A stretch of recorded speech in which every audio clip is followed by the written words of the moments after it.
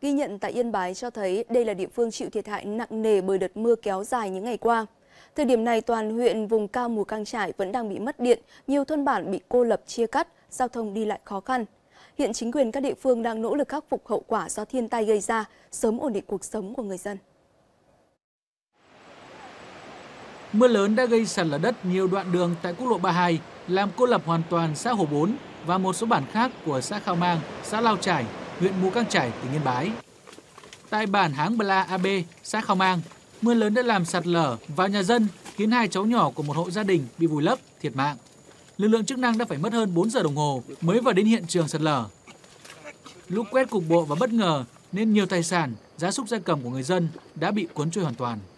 Hốt hoảng, lo lắng là tâm trạng chung của nhiều người dân ở đây.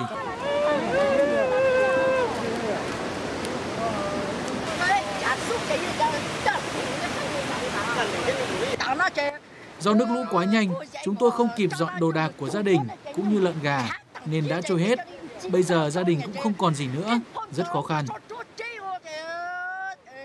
Hiện trên địa bàn huyện Mù Căng Trải đang mưa to, các khe suối nước chảy xiết nên công tác kiểm tra còn gặp nhiều khó khăn. Trước mắt chính quyền địa phương đang cho các hộ bị ảnh hưởng về nhà cửa ở chung cùng anh em họ hàng và vận động các hộ khác giúp đỡ, ủng hộ lương thực. Đồng thời cấm tuyệt đối không cho người dân đi vớt củi, bắt cá trong thời gian này, tránh thiệt hại về người và tài sản của người dân. Trong trận mưa này thì bản đê sủa bị ảnh hưởng rất là nhiều về tài sản với luôn là uh, thiệt hại về ruộng nương của nhân dân trong bản đê sủa. Còn uh, một số hộ gia đình uh, coi như là nhà tăng cửa nắp hiện tại là đang thiếu gạo này, thiếu thức ăn.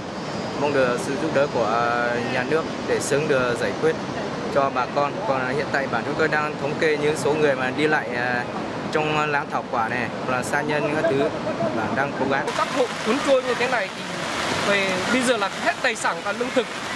Thế là cũng may rất là may là con người không bị thiệt hại và cũng là thoát khỏi. Mà hiện tại là cũng luôn cũng không có không đảm bảo thì chúng tôi cũng ờ, có ý định cái giải pháp mà à, các hộ gia đình hiện tại là cũng không bị thiệt hại là cũng phải cố gắng để à, giúp đỡ các hộ à, bị thiệt hại toàn bộ 100% đấy để cho nó bà con là ờ, sống được.